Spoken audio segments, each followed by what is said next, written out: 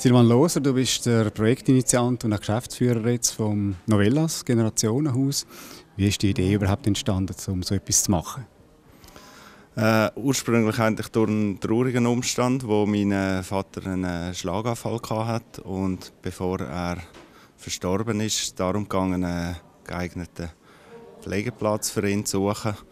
Und äh, es ist sehr schwierig, dort etwas zu finden. Und ich und meine Frau haben dann, äh, nachdem er verstorben ist, haben wir uns gesagt, wir dann das einmal angehen und äh, haben äh, uns Gedanken gemacht, man könnte ein Pflegeheim machen. Es ist dann gewachsen zu einem Generationenhaus, wo wir das Angebot erweitert haben und das ist eigentlich so der, der Ursprung gewesen. Von dieser Idee und den Gedanken im Kopf, bis es jetzt so steht, ist natürlich wahrscheinlich einiges gegangen. Ja, es ist von der, ich sage jetzt mal von der Idee, von der äh, Vision bis zur Eröffnung äh, sind das äh, fünf Jahre gewesen. und äh, ja, es hat äh, wirklich eine große, lange Planung auch im, im Vorfeld, äh, im Vorfeld auch gebraucht. Ja. Eben, der Pflegeplatz war die ursprüngliche Idee. Warum ist es denn dazu gekommen, dass man jetzt noch ganz andere Sachen da hat? Wir wollten nicht äh, ein klassisches äh, Pflegeheim äh, machen, sondern haben gesagt, wir wollen ein Angebot schaffen, wo äh, verschiedenste Generationen ins Haus reinkommen. Und ähm, haben gesagt, wir wollen unbedingt auch Kinder dabei haben, und aber auch äh, die mittlere Generation und auch die ältere Generation. Und von dem aus haben wir dann gesagt, machen wir ein Generationenhaus und nicht ein, äh, ein Pflegeheim. Das steht jetzt in Filters. Gut, du bist von Filters, aber ist das einfach gewesen, denn da Bauplatz und Bewilligungen überzukommen? Äh, Bauplatz ist nicht so einfach. Es gibt wenige Bauplätze, auch ja, hier im Filters wie in anderen Gemeinden auch. Es ist nicht so einfach gewesen. Ich habe äh, jemanden gefunden, ja, der privat das Grundstück hat und wir sind dann äh, miteinander ins Geschäft gekommen. Ja. Man kann nicht einfach das Pflegeheim auftun, da braucht es Bewilligungen. Hast du gewusst, wie das funktioniert oder hast du das müssen aneignen oder Leute fragen, wie ist das gegangen? Ja, wenn ich ehrlich bin, am Anfang hatte ich nicht äh, grosse Ahnung, gehabt, äh, was, wie man das äh, muss machen muss. Ich habe einfach gewusst, ich will das machen und habe einfach sehr viel Energie gehabt und habe gesagt, ich will das wirklich auch äh, umsetzen und äh, man lernt dann wirklich äh, viel auch dazu und ich kenne als Physiotherapeut Pflege, ich habe gewusst, was es beinhaltet, aber nachher auch das Ganze über Behörden alles beantragen. Ja, da ist man dann reingewachsen und hat nach und nach dazu gelernt. Du hast gesagt, es ist fünf Jahre gegangen. Äh, was sind die wichtigsten Meilensteine in diesen fünf Jahren? Ja, ich denke, am Anfang ist natürlich sehr viel äh, Planen, Ideen, äh, vielleicht auch mal äh, kreativ sein, ohne dass man muss sagen, ja, macht man es überhaupt oder äh, macht man es nicht. Also man ist da irgendwo noch frei gewesen. Irgendwann ist dann der Moment gekommen, wo man hat müssen sagen, ja gut, jetzt machen wir es. Und das ist so ein Meilenstein, das war etwa Ende 2012. Ich habe 2010 angefangen mit meiner Frau, einfach das, äh, die Idee weiterentwickeln. Und dann hat man müssen sagen, ja, machen wir das oder nicht. Und wir haben dann das Ende 2012 haben wir gesagt, mal, wir machen das und dann ist es losgegangen. Das war auch so ein Meilenstein. Wir haben dann eine AG gegründet und ähm, einen Generalunternehmer beauftragt und dann ist es dann, ja, dementsprechend sind die Kosten dann auch gekommen und äh, es ist dann losgegangen. Ein anderer Meilenstein ist dann sicher ja, kurz vor der Eröffnung, wo man dann auch mit der Personalsuche anfangen und dann eigentlich äh, nebst dem Baulichen, wo sehr lange äh, Überhang hat, dann auch das Betriebliche hat angehen. Ja, es haben ja auch müssen Menschen gefunden worden, die überhaupt hierher kommen. Wie haben Sie denn das gemacht? Ja, wir haben, äh, das ist ja nicht so einfach mit der Pflege. Also, und meistens man meldet sich ja dann nicht oder sehr wenig äh, zwei Jahre im, Vor, im Vorhinein an. Also es muss dann äh, wirklich sehr schnell, dann braucht man auch einen Platz, es passiert etwas oder man hat einen Sturz daheim, man kann nicht mehr heim und braucht dann einen Pflegeplatz. Und das passiert sehr häufig. Von dem her haben wir nicht genau gewusst, ja, können wir das Haus dann äh, wirklich auch besetzen? Können wir die 36 Pflegeplätze, die wir haben, auch wirklich gut besetzen? Und das ist alles dann wirklich bis kurz vor der Eröffnung sehr, sehr schnell und spontan auch passiert. Das Personal, ist das einfach um das zu finden? Es gibt ja nicht so viele Pflegepersonen auf dem Markt. Ja, wir haben so nicht so das Problem gehabt. Wir haben ein neues Haus und das hat die Leute auch interessiert. Und, äh, wir haben äh, eigentlich schon ein Jahr vorher äh, Bewerbungen bekommen, haben das alles aus, aussortiert und angeschaut und haben so dann nach und nach endlich, äh, können die Personalauswahl machen. Also wir mussten wenig müssen ausschreiben und haben eigentlich viele Blindbewerbungen bekommen, weil sich es einfach umgesprochen hat, dass es ja da das Haus gibt. Eben das Haus als solches ist das eine, das Personal, und dann braucht es natürlich eine Bewilligung, um überhaupt äh, Pflege anzubieten. Hast du dich dort auch müssen, zuerst mal schlau machen Habe ich mich schlau machen Ja, sicher haben wir müssen das reinlesen und ähm, gut, haben auch gute Unterstützung gehabt. Ähm, wir haben einen guten Verwaltungsrat, wo die Leute auch äh, von Anfang an involviert waren. Äh, Zusammenarbeit mit der Gemeinde, dann aber auch Zusammenarbeit mit dem Kanton. Das ist dann über das Amt für Sozialamt gegangen, wo äh, auch sehr unterstützend war, wo einem geholfen hat, äh, wo man hat können Fragen stellen, Probleme anschauen und, und äh, es ist wirklich eine konstruktive Zusammenarbeit und das hat es auch vereinfacht, äh, um alles äh, können gut beantragen. Reden wir über die verschiedenen Elemente da sind wir jetzt im Restaurant Kiesfang. Die Idee zum Restaurant, ist die äh, auch dir und deiner Frau gekommen? Oder hat da jemand gesagt, es braucht da noch ein Restaurant an diesem kleinen Seeli? Ja, war ein bisschen so, gesehen, wie du sagst. Äh, ich bin nicht äh, aus der Gastronomie raus und ich habe auch nicht gewusst, ob das äh, da gut funktioniert mit einem Restaurant. Wir haben auch über den Verwaltungsrat, der aus der Gastronomie raus ist. Und ich wollte von ihm zuerst wissen, ja, funktioniert das hier auch mit einem Restaurant. Und, äh, äh, es ist ein Mann mit sehr viel Erfahrung und er hat das dann auch abgeklärt und hat äh, gesagt, mal, dass man das äh, unbedingt auch probieren muss. Und es gehört auch zum Gesamtkonzept. Das Restaurant ist sehr wichtig, auch äh, weil im Restaurant kommen die Leute auch von außen rein und das sind alle Generationen. Ihr habt ein bisschen spezielles Restaurant, das ist nicht ein 0815. Was zeichnet das Restaurant aus? Ja, was bei uns speziell ist, ist sicher, dass wir sagen, wir haben, äh, wir haben einen äh, Plattenservice. Das heißt, wir haben Röschos auf dem Tisch und äh, das Essen kommt in Schüsseln, wo man dann auch selber schöpfen tut. So wie früher daheim. Und das Konzept sollte äh, Familien ansprechen, auch die älteren Leute, die sich Zeit lassen können und das Essen bleibt gleich, gleich ein warm auf den Röschos und, und sie können dann schöpfen. Der eine will ein bisschen mehr Pommes frites, der andere will ein bisschen mehr Gemüse und so kann man dann das eigentlich für sich selber kann man den Teller dann auch zusammenstellen. Zum Restaurant gehören ja auch noch gewisse Veranstaltungen, die da sind oder Säle, die er anbietet. Wie ist da das Angebot?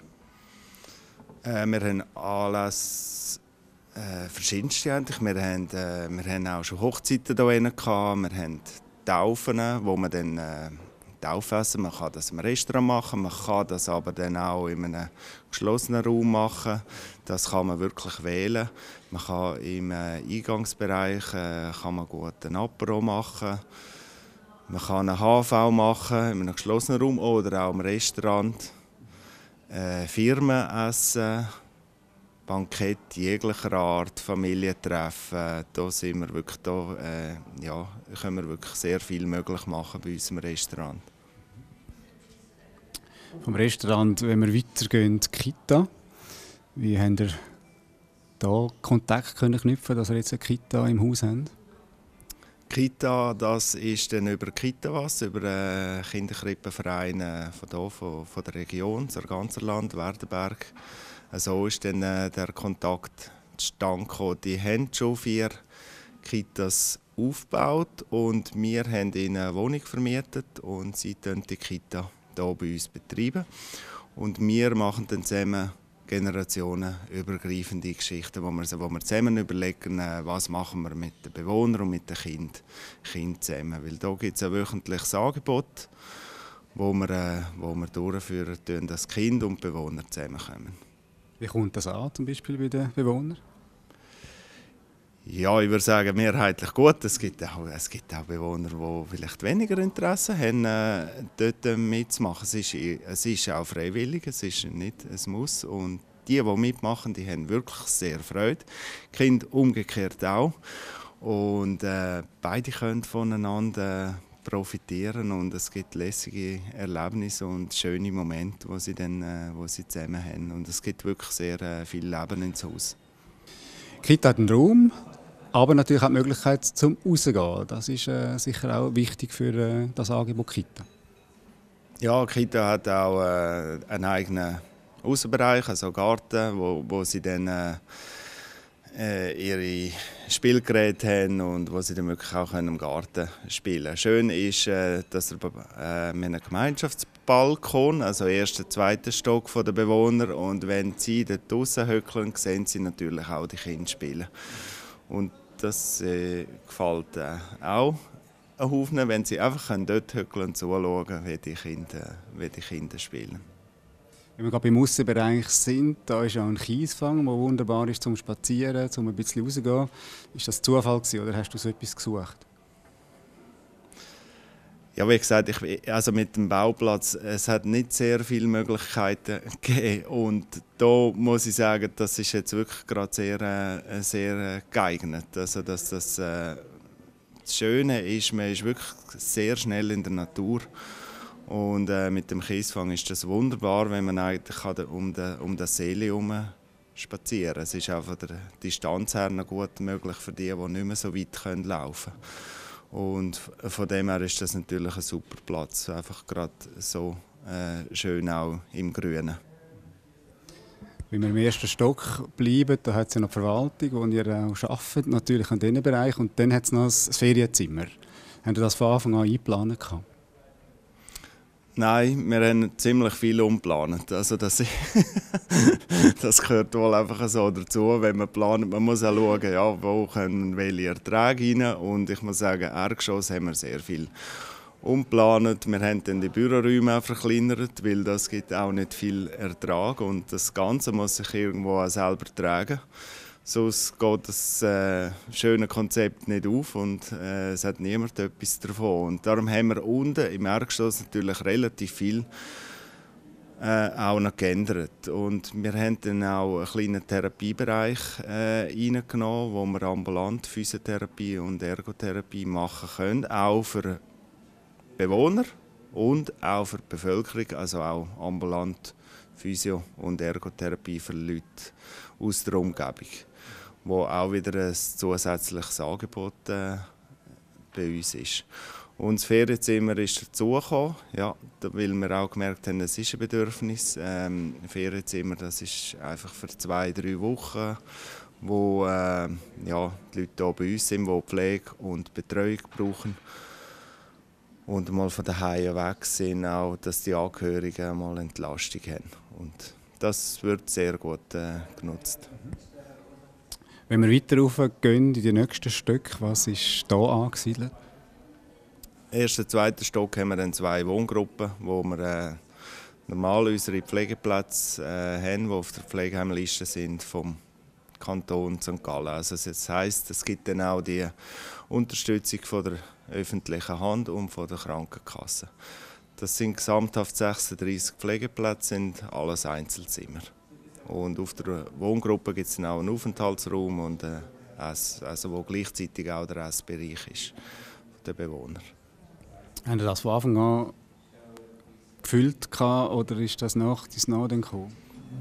Ja, also nicht gerade von Anfang an alles. Wir haben dann das äh, ein bisschen gestaffelt gemacht, weil das wäre auch zu viel gewesen. Einfach gerade die 36 Plätze zu füllen, das wäre äh, für alle, ich denke für die Bewohner, für die Angehörigen, sowie auch für das Personal äh, eine grosse Übung gewesen. Ein Bewohnereintritt braucht sehr viel Zeit und Betreuung und die muss man sich nehmen. Das ist ganz wichtig, dass das alles noch gut funktioniert und wir haben dann das gestaffelt gemacht. Ich sage jetzt mal auf drei Monate verteilt, wo wir, äh, wo wir dann das nach und nach besetzt haben. Also da haben wir uns ein bisschen Zeit gelassen. Dann haben wir ja noch einen Bereich mit Wohnungen. Im, ja, im Attika-Geschoss, also im dritten Stock, haben wir, dann, äh, haben wir dann Wohnungen. Das sind Mietwohnungen. Sieben altersgerechte Mietwohnungen, wo wir jetzt, ich sage mal, die jüngeren Eltern denen haben, die noch selbstständig sind, die dann aber äh, noch, noch Dienstleistungen von uns äh, beziehen wenn sie etwas, äh, wenn sie etwas brauchen. Parkplatz haben wir auch, das ist natürlich auch ganz wichtig. Da ist auch ein grosszügiger Raum für Parkplatz eingeplant worden in dem Sinn. Ja, einerseits äh, beim Restaurant ist das auch vorgeschrieben mit dem Parkplatz, aber äh, natürlich auch Personal kommt dazu. Wir haben äh, gesamthaft fast 60 Mitarbeiter und äh, Besucher. Und da kommt dann schon einiges zusammen und wir müssen dann ja, relativ viele Parkplätze zur Verfügung stellen. Jetzt eben hast du gesagt, am Anfang hat man natürlich müssen sich da reinschicken. Wenn du jetzt ein bisschen zurückschaust, ist es alles so gekommen, wie du das dir erhofft und erträumt hast? Ja, wir haben sicher gewisse Sachen, wo man, wo man vielleicht anders gehofft hat. Ich sage jetzt einmal, äh, also im äh, Allgemeinen, im Großen und Ganzen gesehen, bin ich wirklich sehr, sehr zufrieden, wie, wie jetzt das alles äh, funktioniert hat. Es gibt sicher noch viel. Jetzt, wir haben sie zwei Jahre äh, offen und äh, es gibt sicher noch viel, wo wir, äh, wo wir müssen, äh, aufbauen müssen. Die Aufbauarbeit die geht einfach länger als jetzt nur ein Jahr, zwei. Und da müssen wir uns eine Zeit lassen und gewisse Sachen auch anpassen, verbessern und daran arbeiten. Aber im Großen und Ganzen bin ich sehr zufrieden. Ja. Jetzt steht das, du sagst, es gibt noch Sachen, die man muss äh, ändern oder, oder anders anpacken. Du bist noch sehr jung, hast auch noch Pläne, wie man, wie man noch ein bisschen mehr könnte erweitern oder noch etwas Neues machen? Ja, ich hätte schon eine Idee, was man noch könnte erweitern könnte, aber äh, das wird jetzt auch noch nicht sagen und da lasse ich mir jetzt auch noch auch noch Zeit. Ich denke, wirklich wichtig ist, dass, äh, dass jetzt der Betrieb, dass das Angebot, das wir jetzt haben, dass das gut läuft, dass die Strukturen rum sind, dass die Abläufe gut funktionieren, dass gewisse Sachen auch äh, verschriftlicht sind, äh, standardisiert. Und das wird sicher die Aufgabe sein von der nächsten, sage jetzt mal zwei Jahre. Und dann können wir uns dann vielleicht schon mal überlegen, was man noch könnte er, erweitern oder auch ja, dementsprechend, dass wir das Angebot können, äh, ja, aus, ausbreiten oder äh, ja, größer machen. Wenn wir zu den Kosten noch kommen, wie sieht das aus im Vergleich mit anderen Pflegeheimen, mit anderen Institutionen? Äh, von den Kosten her sind wir äh, vergleichbar mit, äh, mit anderen Pflegeheimen von, von der Region auch, was äh, Pensions- und Betreuungstaxen anbelangt. Äh, es gibt Unterschiede zu Altersheimen von, von der Region, zu öffentlichen Häusern. Dort gibt es sicher von den Kosten her Unterschied von der äh, Pflege her, also von der Pflegetaxe. Da ist es wieder, ist es wieder einheitlich, was auch der Selbstbehalt betrifft von der vom Bewohner selber, weil das ist dann wieder über die Pflegefinanzierung äh, geregelt. Jetzt kann da jeder zu euch kommen oder muss man in die Gemeinde, die am Gemeinde zuweist, wie sieht denn das aus? Kann man da wählen? Äh, es kann jeder zu uns kommen, weil außer kantonalen Sachen muss man das sicher abklären. Es muss auch die Gemeinde einverstanden sein. Ähm, wir haben hier äh, Bewohner aus äh, verschiedensten Gemeinden. Das ist also durchaus durchaus möglich. Jetzt sind ihr eine private AG, also müsst ihr die gleichen Auflagen erfüllen wie ein öffentliches Pflegeheim? Also ist man da bei euch genau gleich versorgt? Ja, die Auflagen sind die gleichen. Wir würden einfach direkt äh, überprüfen vom, äh, Kanton, vom Kanton St. Gallen selber und äh, müssen aber die gleichen Qualitätsanforderungen ja, bringen wie andere Häuser auch. Wie sind denn die Reaktionen von Behörden, von der Bevölkerung? Bist du als Spinner äh, tituliert worden oder ist man von Anfang an hinter dem Projekt gestanden? Ja, also ich hoffe es nicht, nicht gerade als Spinner oder sonst habe ich es nicht gehört oder es ist nicht bis zu mir gekommen. Nein, es ist, es, ist, äh, es ist gut angekommen. Wir haben gute Rückmeldungen bekommen und äh, ja, es haben Haufen gesagt, es ist, es ist toll, dass, dass wir so etwas machen. Ähm, wie sie, wie sie sagen, es, es braucht es auch. Und man hat das jetzt auch gesehen, vor allem auch mit der Pflege. Das ist, wir können die Plätze gut füllen und das, das ist auch ein Bedarf da und, und es ist etwas, was die Leute brauchen, dass, äh, dass man eine gute Pflege und Betreuung anbietet und genug Plätze hat hier in der Region. Nebst den anderen Häusern natürlich auch.